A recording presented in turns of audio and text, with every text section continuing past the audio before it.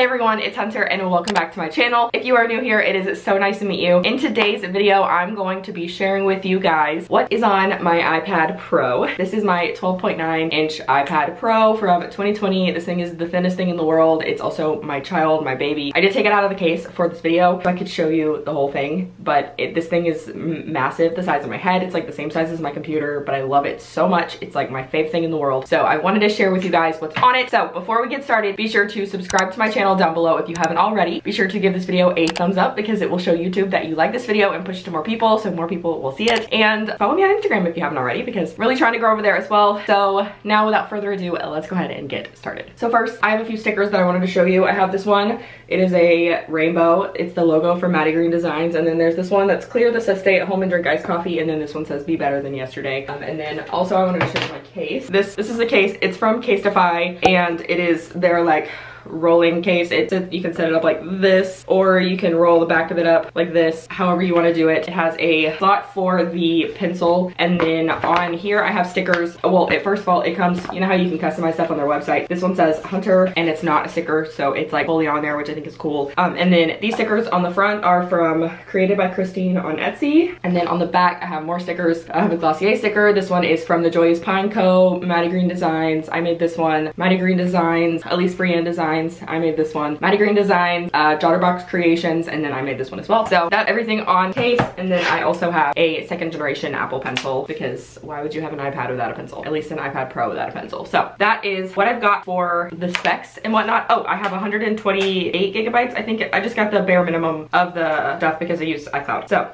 now let's go ahead and get started. Um, I got my iPad in uh, September, but I know that a lot of people do like a lot of trial and error with apps and stuff. Trying to figure out the apps that they're gonna use. So I really wanted to have a good basis for the apps that I actually use. So I could get rid of the ones I didn't use and just have the ones that I wanted to use. Cause like I said, I only have 128 gigabytes of storage and that seems like a lot, but for the stuff that I do, it's really not a lot. I have more storage on my phone than I do on my iPad. So just to keep that into perspective, I'm using about 40 gigabytes right now, but now let's go ahead and get started. So this is the home screen and it says you are loved and it kind of looks like a neon sign and I did it so it looks like it's like connected to a neon sign and then there's a cord going down to like plug it in. Um, I made this yesterday actually. I learned how to make something look like a neon sign and I got so excited so I decided to make one for my background. Someone paid me to make a graphic for them and I wanted to do it that way. So that's kind of what I have there. I'm obsessed with it. I love this color. Um, I just think it looks really good and I love that it's like a word down at the bottom so the top is still clear so that it's not like blocking anything on the background. Um, whenever I turn it sideways it does block it because of the bottom bar but I don't usually turn it sideways anyway. So now at the top first I have calendar. Um, this one just comes on the iPad, so I just left it there. I like the way that it looks up there because it has the, the number of the day, so like today's the 5th, even though it says it up there in the corner as well, but uh, that. And then we have photos, which I use obviously all the time. I make my YouTube thumbnails on here, I make graphics for people, I make Instagram stories, I save stuff, like I literally did a whole photo shoot for my family. Um, I do all kinds of graphic stuff,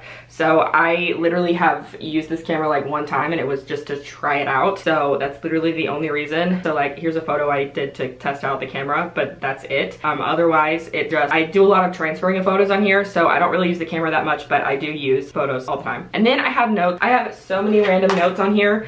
This is one that I was using yesterday, so let me erase this. It's because when you open like a new note, it, hold on, let me show you. When you open a new note, you can just start writing.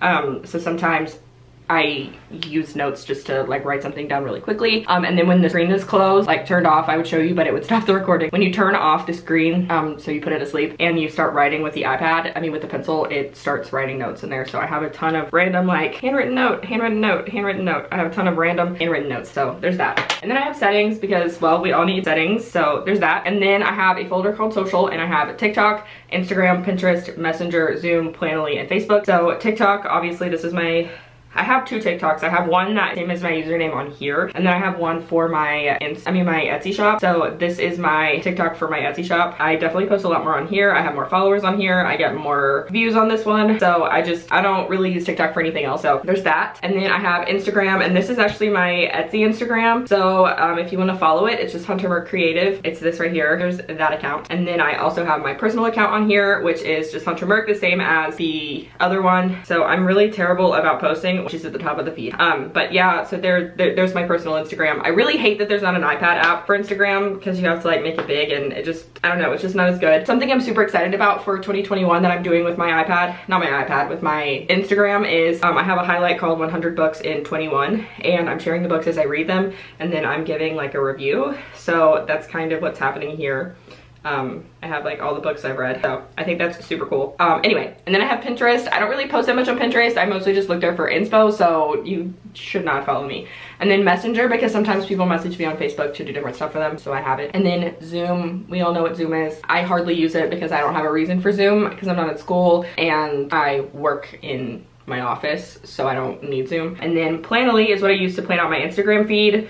Um, I use this to plan out my Instagram feed for both my, my personal and my Etsy shop one, but I, this is my Etsy one. I have the app on my phone that I use for my personal page. You have to pay to have more than one account on here, so that's why I have them on separate devices, but I've scheduled a couple of things up and coming, so there's that, and then I also have Facebook. Then we have streaming. I have so many streaming services, it's absolutely unreal. So first I have Netflix. Um, also, because I have so many, I'm gonna tell you how I pay for them. Netflix, my parents pay for. Hulu, we pay for and share the password with my parents. Disney Plus, we pay for by the year. Prime Video we have free with Prime that my dad pays for. And then AT&T Watch TV comes free with our phone plan. HBO Max comes free with our internet plan. And then we also have Apple TV Plus, which came with a new Apple device. So we got that with our, with our, well, we got new phones over the summer. Um, but also it came with my iPad. So there's that, but I don't have it on here because I don't really watch it. If I do, I'll watch it on the TV. Next, I have this folder called HMC LLC. So if you don't know, my Etsy shop that I have, I actually like have a, a an LLC, which is a company. Um, so it's like a registered business.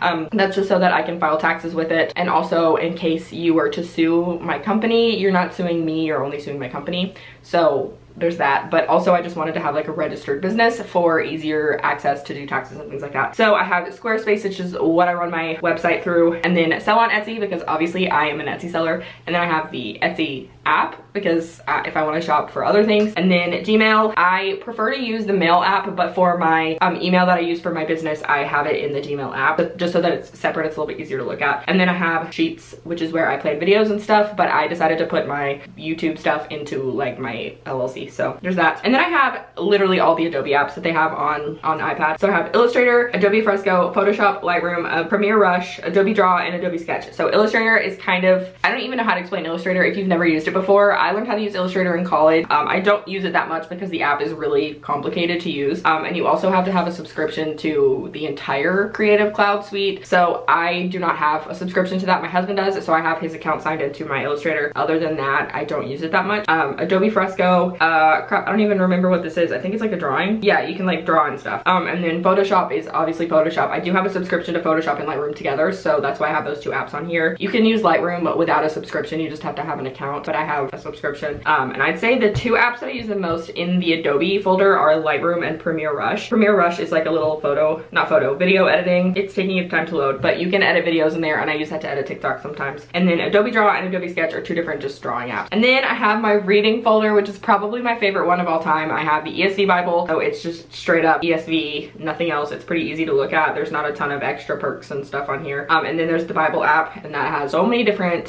versions of the Bible. It has different verse of the day, it has prayer lists and verse images, and you can discover like reading plans and videos and things like that. Um, I don't use that one very much, but I do use the ESV one a lot. And then Libby is an app for the library. So if you have a library card, you can go here. So I live in Greenville County. So Greenville County Library System, um, you're able to download books and you can download them onto Kindle. So these are the books that I currently have on loan. I have The Guest List by Lucy Foley, What Alice Forgot by Liane Moriarty, Moriarty, Moriarty, that's right. And then The Family Upstairs by Lisa Jewell. Um, as you can see, one person is waiting for this book. So these are other books that I've like returned to this year, but it's so nice because I'm able to read books without having to worry about buying them. Um, I do have to wait sometimes. And next I have Kindle and uh, this is, so as you can see, the three books that I just told you that I have on loan, these are ones that are on my iPad because I downloaded them through Kindle and then once I return them through the library, I no longer have access to them. Um, so like I've returned the Lying Game and this time next year, but they're still available. And then Little Fires Everywhere, The Hunting Party, um, things like that. Some of them, yeah. So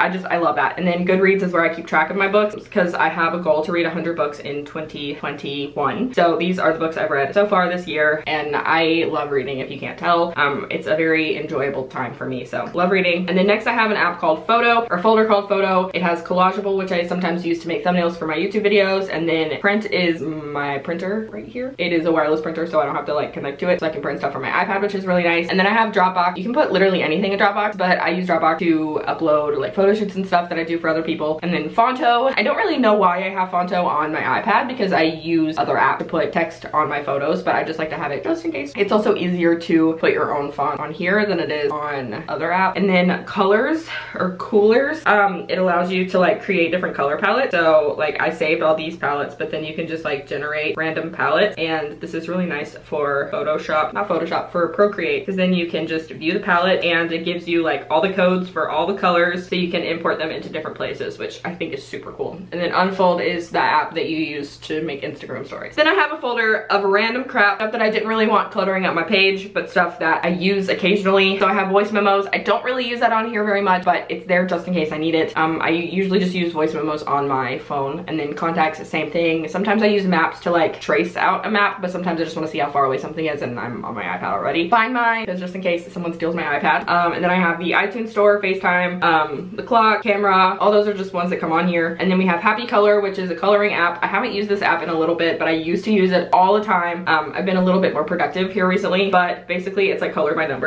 So let me show you. I clicked on one and I just click on all the little checkered boxes we have here. See, look how fun. You just color it in. Let me fill out all of one and then I'll show you what it does. Did I miss something? As you can see, the one is still there. So that means I'm missing something. So, oh, there we go. There it is. And it went away and you just do that for all the colors. And then obviously I have the app store because that's a necessity. And then AnyFont is an app that allows me to be able to import my own fonts into Good GoodNotes. And then podcast app, Target because I love to shop, Amazon because I love Amazon and Urban Outfitters. I love looking at Urban Outfitters app. And then the Apple store and Instacart in case I decide to order my groceries from my iPad. I usually do it from my phone though. And then I have files, which I use all the time. I did not think I was ever gonna use files, but it's been so handy. I have so many files. These are the ones that are in my iCloud drive and then I have ones that are in my iPad. So I have fonts and different files and stuff, but this is seriously like the most helpful thing in the world because then I'm able to um, open them up on my computer without having to like airdrop or email or text or whatever. It's just fully there in the file. It's so great. I love it. Um, and those are all the apps that I have up at the top in folders. And then down here, I have a folder for YouTube. I have obviously the YouTube app and then I have YouTube Studio, which gives me my analytics and then my subscriber counter 4,220. It is abbreviated by the tens. Um, so if I had like 4,219, it would say 4,210. Um, so it rounds down to the nearest 10. And then I have messages because I use that all the time. I have my email. I have two different emails on there, but I have my personal email and then I have another email that I use for a lot of things. And then Safari because I actually use Safari so often. Oh, look, this was me putting a hold on a book. Um, I use Safari so much and it's nice because it feels more like my computer rather than being on my phone. And then I have GoodNote, which is the best app ever. If you want to know how I use GoodNotes on my iPad, I made a whole video about this, but um, just the gist of it. So like I have a folder called Hunter Creative LLC so that I have stuff for my business in there. And then Procreate, we all know and love Procreate. Um, I do digital illustrations, which every girl on the planet does. I really need to organize this better, but I also create stickers and graphic and all kinds of stuff for people and myself. So there's Procreate and that's everything on the bottom. And then this section down here on the bottom shows you your most recently opened app. So there's that. And then if we come over to the side, we have my widget and you can edit this so that it will like, when you turn your screen to the side, it will stay on the side. But I just have have the weather for where I live, and then I have calendar. So today is my friend's birthday, so that reminds me that today is my friend's birthday. And then I have battery, so the iPad, it shows me the battery, and then my pencil's battery, and then it's charging, and then when I have my AirPods attached, it shows me there as well. Then I have the Bible verse of the day on here, so if I click on this, it'll take me to the Bible app, but that's mostly why I have the Bible app on here. So it says, love the Lord, your God with all your heart, with all your soul, with all your strength, Deuteronomy 5, nope, Deuteronomy 6, 5. And then I have my subscriber counter there, so in case I don't want to open up the app, but that's as much as you can do pretty much with widgets on iPad. But that is everything that I have on my iPad Pro. So if you guys enjoyed it, um, let me know give this, by giving this video a thumbs up. If there are any apps that you recommend using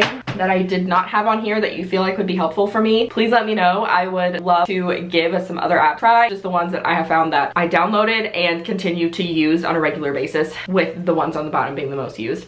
But I love every single one of them and my iPad is my child, so now I'm going to put it back in the case so that I do not damage her. Oh, also, I forgot to mention that I do have a screen protector on here and it is from Paperlike. Um, I got it for my birthday, so that is why I felt okay spending $40 on two screen protectors instead of getting them from Amazon. So you know what that's about. Um, but yeah, that's what's on my iPad and I hope you guys enjoyed it. Let me know down below any apps that you think I should download, and I will see you guys in my next video. Bye.